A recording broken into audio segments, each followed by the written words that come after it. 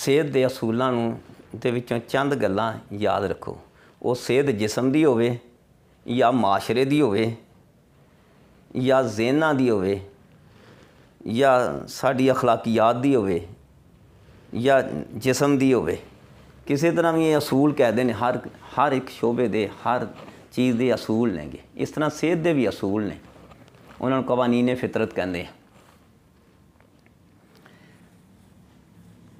ਸਾਡੇ ਸਿਹਤ ਦੇ ਅਸੂਲਾਂ ਵਿੱਚੋਂ 6 ਅਸੂਲ ਨੇਗੇ ਹਵਾ ਸਾਫ਼ ਸੁਥਰੀ ਹੋਵੇ ਜੀ ਜਿਹਦੇ ਵਿੱਚ ਸਾਹ ਲੈਣਾ ਹੈ ਅਗਰ ਗੰਦੀ ਆਵਾਜ਼ ਸਾਹ ਲਿਆ ਤੇ ਉਹਦੇ ਨਾਲ ਵੀ ਤਬੀਅਤ ਖਰਾਬ ਹੋਏਗੀ ਸਾਹ ਦਾ ਮਸਲਾ ਵੀ ਹੋਏਗਾ ਉਸ ਤਰ੍ਹਾਂ ਜਿਸਮ ਦੇ ਵਿੱਚ ਆਕਸੀਜਨ ਨਹੀਂ ਜਾਏਗੀ ਜਿਵੇਂ ਟਿਸ਼ੂ ਜੇ ਟਿਸ਼ੂ ਮੁਰਦਾ ਹੋਣੇ ਸ਼ੁਰੂ ਹੋ ਜਾਣਗੇ ਖਰਾਬ ਹੋਣੇ ਸ਼ੁਰੂ ਹੋ ਜਾਣਗੇ ਦੂਸਰਾ ਹੈਗਾ ਹੈ ਖਾਣਾ ਤੇ ਪੀਣਾ ਕਿ ਸਾਨੂੰ ਖਾ, ਮੌਕੇ ਜਦੋਂ ਭੁੱਖ ਲੱਗੇ, ਉਸ ਲਈ ਮناسب ਖਾਣਾ ਹੈ ਤੇ ਪਿਆਸ ਲੱਗੇ ਤੇ ਮناسب ਪੀਣਾ ਹੈ ਔਰ ਹਲਾਲ ਦਾ ਖਾਣਾ ਤੇ ਪੀਣਾ ਹੈਗਾ। ਐਵੇਂ ਚੋਰੀ ਦਾ ਵੀ ਚੁੱਕ ਕੇ ਖਾ ਲੈਣਾ, ਹਰਾਮ ਵੀ ਸ਼ਰਾਬ ਵੀ ਨਹੀਂ ਪੀ ਜਾਣੀ ਜਾਂ ਇਸ ਤਰ੍ਹਾਂ ਕੁਝ ਜਿਹੜੀਆਂ ਮਮਨੂ ਚੀਜ਼ਾਂ ਨੇ, ਜਿਹੜੀਆਂ ਸਾਡੇ ਇਸਲਾਮ 'ਚ ਮਨਾ ਨਹੀਂ ਉਹ ਨਹੀਂ ਖਾ ਪੀ ਜਾਣੀਆਂ। ਆਪਣੀ ਹਲਾਲ ਦੀ ਕਮਾਈ 'ਚੋਂ, ਆਪਣੀਆਂ ਚੀਜ਼ਾਂ 'ਚੋਂ ਖਾਣਾ ਜਿਹੜੀ ਵੀ ਤੁਹਾਨੂੰ ਮਯਸਰ ਆ ਜਾਏ। ਅੱਲਾ ਨੇ ਹਾਲਾਤ ਦਿੱਤੇ ਹੁੰਦੇ, ਕੋਈ ਗਰੀਬ ਹੁੰਦਾ ਹੈ, ਕੋਈ ਅਮੀਰ ਹੁੰਦਾ ਹੈ। ਜਿਹੋ ਜਿਹੇ ਹਾਲਾਤ ਨੇ, ਉਹ ਜੋ ਮਯਸਰ ਹੈ ਆਪਣੀ ਚੀਜ਼ ਪਹਿਲੀ ਗੱਲ ਹਵਾ ਸਾਫ਼ ਸੁਥਰੀ ਹੋਵੇ, ਦੂਸਰੀ ਗੱਲ ਖਾਣਾ ਪੀਣਾ ਜਿਹੜਾ ਜਿੰਨਾ ਵੀ ਤੁਹਾਡੇ ਵਸਾਇਲ ਨੇ ਉਹਦੇ ਵਿੱਚ ਰਹਿੰਦੀਆਂ ਮناسب ਖਾਓ ਪੇਟ ਭਰ ਕੇ, ਪੀਓ ਵੀ। ਅਗਰ ਤੁਸੀਂ ਮੌਕੇ ਦੇ ਉੱਤੇ ਨਾ ਖਾਦਾ ਤਾਂ ਵੀ ਕਮਜ਼ੋਰੀ ਹੋ ਜਾਣੀ, ਪੀਤਾ ਨਾ ਤਾਂ ਵੀ ਪਾਣੀ ਦੀ ਕਮੀ ਹੋ ਜਾਏਗੀ, ਫਿਰ ਵੀ ਸਿਹਤ ਆਸਤਾ-ਆਸਤਾ ਖਰਾਬ ਹੁੰਦੀ ਹੁੰਦੀ ਹੋ ਜਾਏਗੀ। ਤੀਸਰੀ ਹੈਗੀ ਏ, ਹਰਕਤੋਂ ਸਕੂਨ ਹੈ ਬਦਨੀ, ਜਿਸਮ ਦੀ ਹਰਕਤ ਤੇ ਸਕੂਨ, ਕਿ ਜਿਸਮ ਨੂੰ ਮناسب ਤੌਰ ਦੇ ਉੱਤੇ ਹਰਕਤ ਵੀ ਕਰਨੀ ਚਾਹੀਦੀ ਹੈ ਚੱਲਣਾ ਫਿਰਨਾ ਵੀ ਚਾਹੀਦਾ ਹੈ, ਵਰਜ਼ਸ਼ ਵੀ ਕਰਨੀ ਚਾਹੀਦੀ ਹੈਗੀ। ਤੇ ਫਿਰ ਇਹ ਹੀ ਨਹੀਂ ਕਿ ਚੱਲਦਾ ਫਿਰਦਾ ਰਹੇ ਕੰਮ ਹੀ ਕਰਦਾ ਰਹੇ, ਮਿਹਨਤ ਵਿੱਚ ਜੁਟਿਆ ਰਹੇ, ਉਹਨੂੰ ਆਰਾਮ ਵੀ ਕਰਨਾ ਚਾਹੀਦਾ, ਜਿਸਮ ਨੂੰ ਆਰਾਮ ਵੀ ਦੇਵੇ, ਸਕੂਨ ਵੀ ਦੇਵੇ। ਚੌਥਾ ਅਸੂਲ ਹੈਗਾ, ਹਰਕਤ ਤੋਂ ਸਕੂਨ ਹੈ ਨਫਸਾਨੀ। ਨਫਸ ਯਾਨੀ ਸਾਡੇ ਨਫਸੀਆਤ ਸਾਡੀ ਸੋਚ, ਸਾਡੀ ਖੁਸ਼ੀ, ਸਾਡੀ ਗਮੀ, ਸਾਡੀ ਹਮਦਰਦੀ, ਸਾਡੇ ਦੀਗਰ ਜਜ਼ਬੇ ਜਿਹੜੇ ਨੇ, ਗੁੱਸਾ ਹੈਗਾ, ਗਮੀ ਹੈਗੀ। ਇਹ ਵੀ ਇਤਦਾਲ ਤੇ ਰਹਿਣ। ਮੌਕਾ ਆਵੇ ਤੇ ਗੁੱਸਾ ਕਰਨਾ, ਤੇ ਤੇ ਗੁੱਸਾ ਕਰਨਾ ਹੈਗਾ, ਨਹੀਂ ਤੇ ਕੰਮ ਵਿਗੜ ਜਾਏਗਾ। ਜੇ ਤੁਸੀਂ ਹਰ ਵੇਲੇ ਗੁੱਸੇ ਰਹੇ, ਤਾਂ ਵੀ ਕੰਮ ਵਿਗੜੇ ਰਹਿਣਗੇ, ਲਿਆਦਾ ਮੌਕੇ ਦੀ ਬਨਾਸਪਤ ਇਸ ਤਰ੍ਹਾਂ ਖੁਸ਼, ਖੁਸ਼ੀ ਦਾ ਵੀ ਮੌਕੇ ਹੁੰਦੇ ਨੇ। ਉਸ ਮੌਕੇ ਤੇ ਖੁਸ਼ ਹੋਣਾ ਚਾਹੀਦਾ ਹੈ। ਨਾ ਖੁਸ਼ ਹੋਵੋਗੇ ਤੇ ਫਿਰ ਦੂਸਰੇ ਕਹਿਣਗੇ, ਇਹ ਤੁਹਾਡੇ ਤੋਂ ਨਫ਼ਰਤ ਕਰਨਗੇ ਦੂਸਰੇ ਵੀ।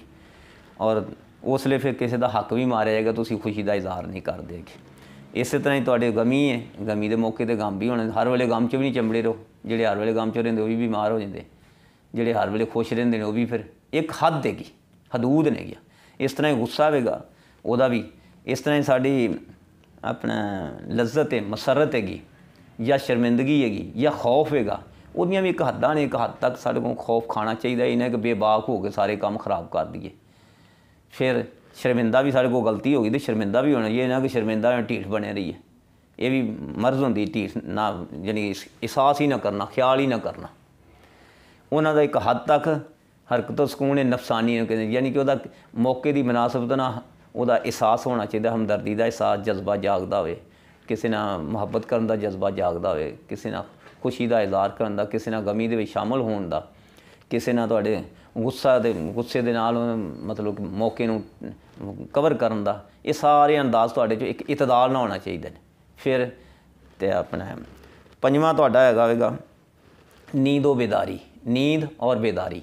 ਕਿ ਮناسب ਤਰੀਕੇ ਨਾਲ ਸੌਣਾ ਚਾਹੀਦਾ ਤੇ ਜਾਗਣਾ ਚਾਹੀਦਾ ਇਹ ਹੀ ਨਾ ਕਿ ਤੁਸੀਂ ਜਾਗਦੇ ਹੀ ਰਹੋ, ਚੱਤੇ ਪੈਰ ਪਾਜੇ ਨਾਸ ਦੇ ਵਿੱਚ ਹੀ ਰਹੋ ਮੋਬਾਈਲ ਹੀ ਵੇਖਦੇ ਰਹੋ, ਟੀਵੀ ਵੇਖਦੇ ਰਹੋ, ਜਾਂ ਗੱਲਾਂ ਬਾਤਾਂ ਦੇ ਵਿੱਚ ਜੁਟੇ ਰਹੋ, ਜਾਂ ਕੋਈ ਹੋਰ ਕੰਮਾਂ ਕਾਜਾਂ ਦੇ ਵਿੱਚ ਜੁਟੇ ਰਹੋ। ਤੇ ਸਮੋ ਜਿਸਮ ਨੂੰ ਨੀਂਦ ਦਿਓ ਹੀ ਨਾ। ਜਦੋਂ ਨੀਂਦ ਨਹੀਂ ਦਿਓਗੇ, ਤੁਹਾਡੇ ਜ਼ਿਹਨ ਨੂੰ ਵੀ ਸਕੂਨ ਨਹੀਂ ਆਉਣਾ, ਜਿਸਮ ਨੂੰ ਸਕੂਨ ਨਹੀਂ ਜਿਹੜੇ ਸਾਰਾ ਦਿਨ ਦੇ ਜਿਸਮ ਦੇ ਟਿਸ਼ੂ ਟੁੱਟੇ ਭੱਜੇ ਨੇ ਜਾਂ ਦਿਮਾਗ ਥੱਕਿਆ ਹੋਇਆ ਹੋਵੇਗਾ ਜਾਂ ਤੈ ਬਤੈ ਜਿਹੜੀਆਂ ਤੁਹਾਡੀਆਂ ਗੱਲਾਂ ਚੜੀਆਂ ਹੋਈਆਂ ਨੇ, ਉਹਨਾਂ ਨੂੰ ਤਰਤੀਬ ਲੱਗਣ ਦਾ, ਉਹਨਾਂ ਨੂੰ ਸਕੂਨ ਆਉਣ ਦਾ ਮੌਕਾ ਹੀ ਨਹੀਂ ਮਿਲਣਾ, ਉਹਦੇ ਨਾਲ ਹੀ ਬਿਮਾਰੀਆਂ ਫੈਲ ਜਾਣੀਆਂ। ਆਖਰੀ ਗੱਲ ਹੈਗੀ, ਇਸਤਫਰਾਗ ਵਾ ਇhtਬਾਸ ਯਾਨੀ ਜਿਸਮ ਦੇ ਫਜ਼ਲਾਤ ਦਾ ਖਾਰਜ ਹੋਣਾ ਔਰ ਜਿਸਮ ਦੇ ਵਿੱਚ ਖੁਰਾਕ ਦਾ ਇੱਕ ਮੌਕੇ ਤੱਕ ਰੁਕਣਾ। ਜਿਹੜੀ ਅਸੀਂ ਚੀਜ਼ਾਂ ਖਾਣੇ ਆਂਗੇ, ਉਹਨਾਂ ਦਾ ਇੱਕ ਜਿਸਮ ਦੇ ਵਿੱਚ ਇੱਕ ਵਕਤ ਤੱਕ, ਮਖਸੂਸ ਵਕਤ ਤੱਕ, ਇੱਕ ਹੱਦ ਤੱਕ ਰੁਕਣਾ ਜ਼ਰੂਰੀ ਹੈ ਕਿ ਉਹ ਟੁੱਟ ਭੱਜ ਕੇ, ਹਜ਼ਮ ਹੋ ਕੇ, ਮੈਟਾਬੋਲਾਈਜ਼ ਹੋ ਕੇ ਉਹ ਜਿਸਮ ਦਾ ਹਿੱਸਾ ਬਣ ਜਾਣ ਜੁਜ਼ਵੇ ਬਦਨ ਬਣ ਜਾਣ, ਖੂਨ ਦੇ ਵਿੱਚ ਕਨਵਰਟ ਹੋ ਜਾਣ। ਉਹਨਾਂ ਦਾ ਇਸ ਹੱਦ ਤੱਕ ਉੱਥੇ ਜਿਸਮ ਦੇ ਵਿੱਚ ਠਹਿਰਨਾ ਜ਼ਰੂਰੀ ਹੈ ਪਾਣੀ ਦਾ ਠਹਿਰਨਾ ਜ਼ਰੂਰੀ ਹੈ ਕਿ ਜਿਸਮ ਦਾ ਜੁਜ਼ ਬਣ ਜਾਏ ਟਿਸ਼ੂ ਵਿੱਚ ਸ਼ਾਮਲ ਹੋ ਜਾਏ। ਹਵਾ ਦਾ ਜ਼ਰੂ- ਜ਼ਰੂਰੀ ਹੈਗੀ। ਫਿਰ ਉਹਨਾਂ ਦਾ ਜਦੋਂ ਬੇ- ਸਾਰੇ ਜਿਸਮ 'ਚ ਇਸਤੇਮਾਲ ਹੋ ਜਾਏ ਫਿਰ ਉਹਨਾਂ ਦੇ ਫੁਜ਼ਲਾਤ ਜਾਂ ਉਹਨਾਂ ਦੇ ਬੇਕਾਰ ਮਾਦਿਆਂ ਜਾਂ ਜਿਸਮ 'ਚੋਂ ਖਾਰਜ ਹੋਣਾ ਵੀ ਜ਼ਰੂਰੀ ਹੈ। ਸਾਡਾ ਪਿਸ਼ਾਬ, ਪਖਾਨਾ, ਪਸੀਨਾ ਜਾਂ ਸਾਡੇ ਦੂਸਰੇ ਜਿਹੜੇ ਮੁਆਦਨ ਹੈਗੇ ਵੀ ਸਾਡਾ ਬੱਚਿਆਂ ਦਾ ਦੁੱਧ ਪਿਲਾਉਣ ਵਾਸਤੇ ਸਾਡੀ ਮਨੀ ਹੈਗੀ, ਮੀਆਂ ਬੀਵੀ ਦੇ ਤਲਕਾਤ ਨੇਗੇ ਇਹ ਸਾਰੇ ਜਿਹੜੇ ਮੌਕੇ ਦੀ ਮਨਾਸਬਤ ਆ ਨਾ ਖਾਰਜ ਹੋਣੇ ਚਾਹੀਦੇ ਨੇ, ਫਜ਼ਲਾਤ ਨੇਗੇ ਯਾਨੀ ਹੱਦੇ ਇਤਦਾਲ ਤੇ ਸਾਰੇ ਕੰਮ ਹੋਣੇ ਚਾਹੀਦੇ ਨੇ। ਅਗਰ ਗਲਤ ਤਰੀਕੇ ਨਾਲ ਵੀ ਇਹ ਤੁਹਾਡੇ ਫਜ਼ਲਾਤ ਖਾਰਜ ਹੋ ਗਏ ਤੇ ਤਾਂ ਵੀ ਬਿਮਾਰ ਜੇ ਸਹੀ ਤਰੀਕੇ ਨਾਲ ਆਇਆ ਤੇ ਸਿਹਤਾਂ ਫਰਤ ਖੁਸ਼ੀ। ਇਸ ਤਰ੍ਹਾਂ ਹੀ ਤੁਸੀਂ ਗਲਤ ਤਰੀਕੇ ਨਾਲ ਕੋਈ ਆਪਣਾ ਰੋਕੀ ਛੱਡਿਆ ਕਬਜ਼ੇ ਨੂੰ, ਆਪਣੇ ਪਖਾਨਾ ਆਇਆ, ਪਿਸ਼ਾਬ ਆਇਆ, ਰੋਕੀ ਛੱਡਿਆ, ਕੀਤਾ ਹੀ ਨਹੀਂ ਮੌਕੇ ਨਾਲ, ਤੇ ਤਾਂ ਵੀ ਫੁਜ਼ਲਾ ਉਹਨੇ ਅੰਦਰ ਜ਼ਹਿਰ ਫੈਲ ਜਾਣਾ। ਤਸਮਮ ਮੇ ਬੋਲੀ ਹੋ ਜਾਣਾ, ਪਿਸ਼ਾਬ ਦੇ ਜ਼ਹਿਰ ਨਾਲ ਤੁਹਾਡਾ ਖਰਾਬੀ ਆ ਜਾਏਗੀ, ਖੂਨ ਦੀ ਖਰਾਬੀ ਆ ਜੀ ਵੱਡੇ ਪਿਸ਼ਾਬ ਰੋਕੀ ਰੱਖੇ, ਆਂਤਾਂ ਦੀ ਖਰਾਬੀ, ਹਾਜ਼ਮੇ ਦੀ ਖਰਾਬੀ, ਸਾਰੀ ਕਬਜ਼ ਦਾ ਹੀ ਆਰਦਾ ਹੋਣ ਲੱਗ ਪੈਣਾ। ਬਾਬਾ ਬਵਾਸੀਰ ਦਾ ਆਰਦਾ ਹੋ ਜਾਏਗਾ ਜਾਂ ਬਗੰਦਰ ਹੋ ਸਕਦਾ ਹੈਗਾ ਕੋਈ ਵੀ ਇਸ ਤਰ੍ਹਾਂ ਹੋ ਸਕਦਾ ਜਾਂ ਹੋਰ ਕੋਈ ਆਰਦਾ ਹੋ ਸਕਦਾ ਫਿਰ ਉਹਦਾ ਦਿਮਾਗ ਤੇ ਅਸਰ ਜਾਏਗਾ, ਦਿਮਾਗ ਮਤਾਸਰ ਹੋ ਜਾਏਗਾ। ਇਹ ਸਨ ਜੀ ਅਸੂਲ ਸਿਹਤ ਦੇ। ਲਿਆਦਾ ਇਹਨਾਂ ਇਸ ਤਰ੍ਹਾਂ ਇਤਦਾਲ ਤੇ ਰੱਖਣਾ ਹੈ। ਸਾਫ਼ ਹਵਾ ਹੋਵੇ, ਮਕੂਲ ਮਸ਼ਰੂ ਯਾਨੀ ਖਾਣਾ ਪੀਣਾ ਤੁਹਾਡਾ ਇਤਦਾਲ ਤੇ ਹੋਵੇ, ਆਪਣਾ ਹਲਾਲ ਦਾ ਹੋਵੇ, ਤੀਸਰੇ ਨੰਬਰ ਤੇ ਹਰਕਤ ਸਕੂਨ ਹੈ ਬਦਨੀ ਹੈਗੀ, ਜਿਸਮ ਦੀ ਹਰਕਤ ਜਿਹੜੀ ਤੁਹਾਡੀ ਚੱਲਣਾ, ਫਿਰਨਾ ਕੰਮ ਕਾਜ ਕਰਨਾ ਜਿਹੜਾ ਮناسب ਤਰੀਕੇ ਨਾਲ ਹੋਵੇ, ਹੱਦੇ ਇਤਦਾਲ ਤੱਕ ਰਵੇ। ਫਿਰ ਹਰ ਕੁਦਾ ਸਕੂਨ ਹੈ, ਨਫਸਾਨੀ ਹੈ, ਤੁਹਾਡੇ ਨਫਸ ਜਿਹੜੇ, ਤੁਹਾਡੇ ਜਜ਼ਬਾਤ ਜਿਹੜੇ ਨੇਗੇ, ਉਹ ਵੀ ਸਕੂਨ ਨਾ ਰਹਿਣ, ਇਤਦਾਲ ਦੇ ਉੱਤੇ ਰਹਿਣ। ਬਹੁਤੇ ਹੱਦੇ ਦਾਲ ਤੋਂ ਨਾ ਕਿਸੇ ਪਾਸੇ ਬਹੁਤਾ ਹੀ ਡਿਗਵੋ ਤੇ ਨਾ ਹੀ ਲਚਕ ਖਾ ਜੋ ਤੇ ਨਾ ਹੀ ਕਿਸੇ ਪਾਸੇ ਐਵੇਂ ਬਹੁਤੇ ਖਿੱਚੇ ਜਾਓ। ਇਤਦਾਲ ਤੇ ਰਹਿਣਾ ਚਾਹੀਦਾ ਹੈ। ਫਿਰ ਤੁਸੀਂ ਮناسب ਸੌਣਾ ਚਾਹੀਦਾ ਸੁੱਤੇ ਵੀ ਨਾ ਰਹੋ, ਚੱਤੇ ਪੈਰ ਤੇ ਨਾ ਹੀ ਕੰਮ ਕਰਦੇ ਰਹੋ, ਯਾਨੀ ਕਿ ਸੌਂ ਵੀ ਜਵਾਨ ਆਦਮੀ ਵਾਸਤੇ 8 ਘੰਟੇ ਦੀ ਨੀਂਦ ਬਹੁਤ ਹੈ 7.5 ਤੋਂ 8 ਘੰਟੇ ਦੀ ਨੀਂਦ ਬਹੁਤ ਹੈ। ਬੱਚਾ ਜਿਹੜਾ ਉਹ ਤੇ ਸੁੱਤਾ ਹੀ ਰਹਿੰਦਾ, ਦੁੱਧ ਪੀਤਾ ਜਿਹੜਾ ਜੰਮਦਾ ਬੱਚਾ ਉਹਨੇ 24 ਘੰਟੇ ਵਿੱਚੋਂ ਤਕਰੀਬਨ 22 ਘੰਟੇ ਹੀ ਸੌਣਾ ਹੁੰਦਾ ਉਹਨੇ ਪਿਸ਼ਾਬ ਵਾਸਤੇ ਉੱਠਣਾ ਜਾਂ ਖਾਣ ਪੀਣ ਵਾਸਤੇ, ਮਾਂ ਦਾ ਫੀਡ ਕਰਨ ਵਾਸਤੇ ਉੱਠਣਾ ਹੈਗਾ। ਬਾਕੀ ਜਿਵੇਂ ਵੱਡਾ ਹੁੰਦਾ ਜਾਂਦਾ, ਫਿਰ ਉਹਦੀ ਨੀਂਦ ਕਮ ਹੁੰਦੀ ਜਾਂਦੀ ਹੈ ਜਿਵੇਂ ਅਸੀਂ ਵੱਡੇ ਹੁੰਦੇ ਜਾਂਦੇ ਫਿਰ ਇਹਨਾਂ, ਜਿਵੇਂ ਜਵਾਨ ਹੋ ਜਾਾਂਗੇ, ਫਿਰ 7.5 ਘੰਟੇ ਬੜੀ ਨੀਂਦ ਔਰ ਸੌਣ ਲੱਗਿਆ ਵੀ ਸਾਨੂੰ ਉੱਤੇ ਕੋਈ ਨਾ ਕੋਈ ਕੱਪੜਾ ਓੜਨਾ ਚਾਹੀਦਾ ਹੈ। ਤਾਂ ਕਿ ਜਿਸਮ ਦਾ ਟੈਂਪਰੇਚਰ ਬਰਕਰਾਰ ਰਵੇ ਤੇ ਨੀਂਦ ਭਰਪੂਰ ਹੋਵੇ। ਜਿਵੇਂ ਤੁਹਾਡਾ ਟੈਂਪਰੇਚਰ ਸੁੱਤਿਆਂ ਪਿਆ ਬਰਕਰਾਰ ਰਿਹਾ, ਤੇ ਜਿਸਮ ਦੇ ਟਿਸ਼ੂ ਜਿਹੜੇ ਟੁੱਟੇ ਭੱਜੇ ਸਾਰੇ ਦਿਨ ਦੇ ਉਹ ਅਮੈਂਡ ਹੋ ਜਾਣੇ ਆਸਾਨੀ ਨਾਲ। ਜੇ ਟੈਂਪਰੇਚਰ ਪੂਰਾ ਨਾ ਹੋਇਆ, ਸਰਦੀ ਲੱਗਦੀ ਏ ਫਿਰ ਵੀ ਉਹ ਤੁਹਾਡੇ ਟਿਸ਼ੂ ਜਿਹੜੇ ਨੇ ਉਹ ਮੁਕੰਮਲ ਨਹੀਂ ਹੋਣੇ। ਟੁੱਟ ਭੱਜ ਸਵੇਰੇ ਉੱਠਣ ਨੂੰ ਜੀ ਵੀ ਨਹੀਂ ਕਰਨਾ ਹੈਗਾ, ਤੇ ਕਿਸੇ ਨੇ ਉਠਾਇਆ ਵੀ ਤਾਂ ਵੀ ਤੁਸੀਂ ਉੱਠਣਾ, ਫਿਰ ਉੱਠੇ ਨਹੀਂ ਗਏ ਫਿਰ ਉਸ ਤਰ੍ਹਾਂ ਸੁਸਤੀ ਤਾਰੀ। ਔਰ ਉੱਠਣ ਦੇ ਨਾਲ ਵੀ ਜਿਸਮ ਸਾਰਾ ਦਿਨ ਹੀ ਦਰਦ ਰਹਿਣਾ। ਥਕਾਵਟ ਉਹ ਵੀ ਹੋ ਜਾਣੀ ਹੈ ਨੀਂਦ ਦੀ ਵੀ ਥਕਾਵਟ ਅਗਲੇ ਦਿਨ ਵੀ ਥਕਾਵਟ, ਉਦੋਂ ਅਗਲੇ ਦਿਨ ਫਿਰ ਥਕਾਵਟ, ਫਿਰ ਬੁਖਾਰ ਹੋ ਪੈਣਾ। ਤੇ ਅਗਰ ਇਸ ਤਰ੍ਹਾਂ ਹੀ ਰਿਹਾ ਤੇ ਉਹ ਟੀਵੀ ਬਣਦਾ। ਹੈ। ਉਹੀ ਟੀਵੀ ਵਾਲੇ ਪਾਸੇ ਰਜੂ ਕਰ ਜਾਣੀ ਹੈ। ਇਹ ਸੀ ਜੀ ਅਸੂਲ ਇੱਕ ਹੱਦ ਤੱਕ। ਔਰ ਖਾਣਾ ਵੀ ਭੁੱਖ ਦੇ ਮੁਤਾਬਕ ਖਾਣਾ ਚਾਹੀਦਾ। ਭੁੱਖ ਲੱਗੇ ਤੇ ਉਦੋਂ ਖਾਏ, ਨਾ ਲੱਗੇ ਤੇ ਐਵੇਂ ਜ਼ਬਰਦਸਤੀ ਚਸਕੇ ਲਾਉਣ ਵਾਸਤੇ ਨਹੀਂ ਖਾਣਾ। ਅੱਛੀ ਤੋਂ ਅੱਛੀਆਂ ਚੀਜ਼ਾਂ ਹੁੰਦੀਆਂ, ਨੇਮਤਾਂ ਨੇ ਅੱਲਾ ਦੀਆਂ। ਲੇਕਿਨ ਭੁੱਖ ਲੱਗੀ ਹੋਵੇ ਤੇ ਫਿਰ। ਇਹ ਆਪਣੇ ਆਪ ਤੇ ਜ਼ਬਤ ਕਰਨਾ ਜਿਹੜਾ ਇਹ ਹੀ ਹੈ। ਕਲੂ ਵਸ਼ਰਬੂ ਲਾ ਤੁਸਰਿਫੂ। ਖਾਓ, ਪੀਓ, ਇਸਰਾਫ ਨਾ ਕਰੋ। ਅਗਰ ਭੁੱਖ ਤੋਂ ਬਗੈਰ ਖਾ ਗਏ, ਚਸਕੇ ਨਾ ਖੁਆਸ਼ ਨਾਲ ਅੱਛੀ ਚੀਜ਼ ਵੇਖ ਕੇ ਜਾਂ ਸ਼ਰਬਤ ਵੇਖ ਕੇ ਪੀ ਗਏ ਜੇ ਤੇ ਉਹ ਤੁਹਾਡਾ ਇਸਰਾਫ ਚ ਹੋਣਾ ਉਹਨੇ ਸਿਹਤ ਖਰਾਬ ਕਰਨੀ, ਕਿਉਂਕਿ ਉਸ ਅਸੂਲ ਸਿਹਤ ਦਾ ਅਸੂਲ ਟੁੱਟ ਗਿਆ। ਖਿਲਾਫ ਵਰਜ਼ੀ ਹੋ ਜਾਣੀ ਹੈ।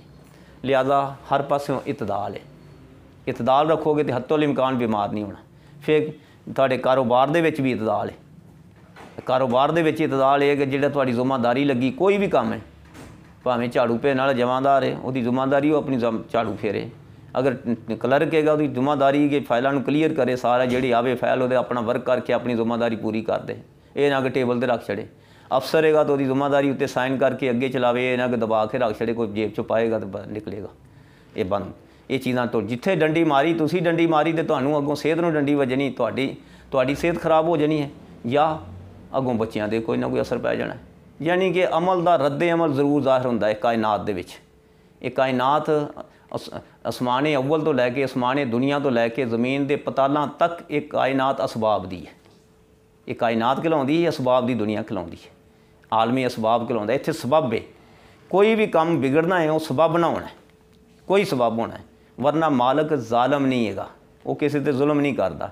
ਇੱਥੇ ਕਵਾਨੀਨ ਅੱਲਾ ਨੇ ਬਣਾ ਦਿੱਤੇ ਨੇ। ਕਵਾਨੀਨੇ ਫਿਤਰਤ ਜਿਹੜੇ ਇਸ ਕਾਇਨਾਤ ਨੂੰ ਚਲਾਉਂਦੇ ਨੇ, ਤੇ ਉਹਦੇ ਚ ਸਬਬ ਹੈ ਜੇ ਤੁਸੀਂ ਕੁਝ ਕੀਤਾ ਹੈ ਤੇ ਉਹਦਾ ਰੱਦੇ ਅਮਲ ਤੁਹਾਨੂੰ ਹਜ਼ਾਰ ਹੋਣਾ ਵੱਡੇ ਲੈਵਲ ਤੇ ਅਗਰ ਤੇ ਮਸਲ ਮੈਂ ਬੋਲਣਾ ਪਿਆ, ਮੈਂ ਇੱਥੇ ਅਸਰ ਤੇ ਹੋ ਰਿਹਾ ਕਾਇਨਾਤ, ਐਸ ਮਾਹੌਲ ਦੇ ਵਿੱਚ ਅਸਰ ਹੋ ਰਿਹਾ, ਲੇਕਿਨ ਵੱਡੀ ਇਹ ਪਤਾ ਹੀ ਨਹੀਂ ਲੱਗਦਾ। ਜੇ ਛੋਟੇ ਲੈਵਲ ਤੇ ਉਹਦੇ ਮੇਰੀ ਆਵਾਜ਼ ਇੱਥੇ ਤੁਹਾਨੂੰ ਸਾਰਿਆਂ ਨੂੰ ਸੁਣੀ ਜਾ ਰਹੀ ਹੈ। ਜੇ ਮੈਂ ਕੋਈ ਬੁਰਾ ਬੋਲਾਂਗਾ ਤੇ ਇਸ ਫਿਜ਼ਾ ਦੇ ਵਿੱਚ ਉਹ ਬੁਰੇ ਮਾਹੌਲ, ਬੁਰੇ ਅਸਤਾਸ਼ ਪੈਦਾ ਹੁੰਦੇ ਨੇ। ਉਹ ਅਸਤਾਸ਼ ਜਿਹੜੇ ਬੁਰੇ ਨੇ, ਉਹਨਾਂ ਨੇ ਮਾਹੌਲ ਨੂੰ ਆਸਤਾ ਆਸਤਾ ਗੰਦੇ ਕਰਦੇ ਰਹਿਣਾ ਜੇ ਅੱਛੇ ਨੇ ਤਾਂ ਮਾਹੌਲ ਅੱਛਾ ਹੁੰਦਾ ਰਹਿਣਾ ਉਹ ਫਿਜ਼ਾ ਦੇ ਵਿੱਚ ਲਹਿਰਾਂ ਅੱਛੀਆਂ ਪੈ ਲੈਣੀਆਂ ਨੇ। ਲਿਹਾਜ਼ਾ ਆਪਣੇ ਮਕਾਮ ਤੇ ਜਿਹੜੀ ਵੀ ਜ਼ਿੰਮੇਵਾਰੀ ਉਹਨੂੰ ਇਮਾਨਦਾਰੀ ਨਾਲ ਅਦਾ ਕਰੋ। ਇਹ ਵੀ ਇੱਕ ਸਿਹਤ ਦਾ ਰਾਜ਼ ਹੈਗਾ। ਇਹਦੇ ਨਾਲ ਵੀ ਤੁਹਾਡੇ ਚੋਂ ਕਾਫੀ ਸਾਰੇ ਜ਼ਮੀਰ ਜਿਹੜਾ ਮੁਤਮਈਨ ਰਹੇਗਾ, ਸਿਹਤ ਦਾ ਜਿਸਮ ਜਿਹੜਾ ਮੁਤਮਈਨ ਰਹੇਗਾ ਸਕੂਨ ਰਹੇਗਾ।